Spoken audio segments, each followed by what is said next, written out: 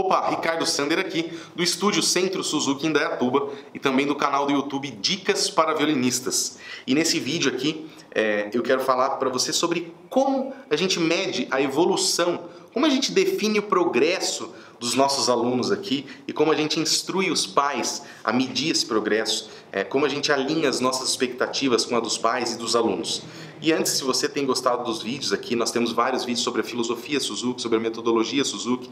Procura aqui nessa página que você está assistindo esse vídeo aqui, né, nos nossos perfis das redes sociais. Tem vídeos falando sobre tudo isso daí, dá para você conhecer muito mais, tá bom? E assistindo esses vídeos também, fica à vontade para mandar mensagens é, aqui nas nossas redes sociais ou nos comentários desse vídeo e a gente conversa, tá bom? Bom, como a gente instrui aqui é, os pais e os alunos a medir a evolução, a definir o progresso. Então eu sempre pergunto para os pais aqui, é, por que vocês colocaram os seus filhos aqui para estudar violino, para estudar piano, né? E eu falo assim, alguém, é, você colocou seu filho aqui para ser um músico profissional, porque você quer que ele seja violinista profissional? E dificilmente, né? A gente tem vários alunos e, e dificilmente tem algum pai que o ponto principal, o objetivo dele é pôr o, o filho dele para ser um profissional, é, um músico profissional, tá? Difícil. Todo mundo põe por quê? Todos os pais respondem. Ah, por causa que eu queria desenvolver habilidades, né? Como você fala, Ricardo, que o método, a metodologia Suzuki desenvolve concentração, disciplina. Eu queria que meu filho tivesse disciplina, eu queria que meu filho tivesse mais concentração. Ótimo.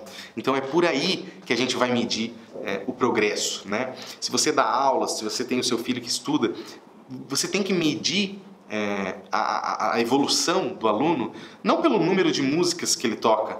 Ah, ele está tocando 10 músicas. Tá bom, mas como ele está tocando essas 10 músicas? Puxa, ele está tocando com uma afinação sensacional.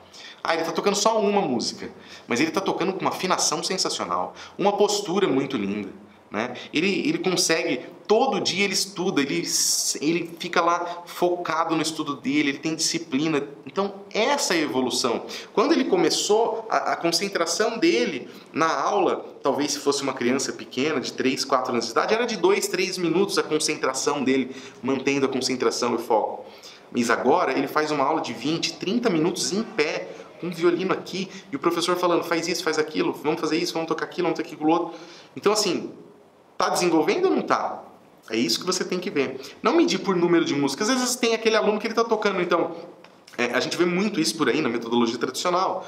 As pessoas querem medir por músicas. Ah, eu já toco 30 músicas, 10 músicas, eu toco a música tal, música tal, música tal. Só que a postura tá ridícula, tá segurando errado no violino, tá segurando errado no arco, tá tocando desafinado, não tem um som bonito, não tem um som consistente. Né? Então, medir por número de músicas está por fora, é errado, não faça isso. Tá? Alinhe as expectativas dos seus alunos, com seus filhos. Né? É, como nós, o que, que nós estamos buscando aqui?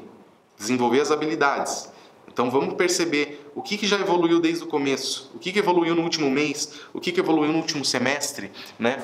Então sempre tenha é, em mente quais são as habilidades que estão querendo ser desenvolvidas e se está sendo desenvolvido de fato. É por aí que se mede o progresso, tá bom?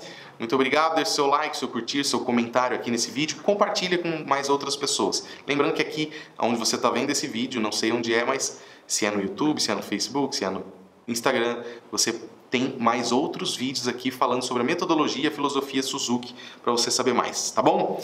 Compartilha aí, dá o seu like, seu comentário. Muito obrigado e até mais.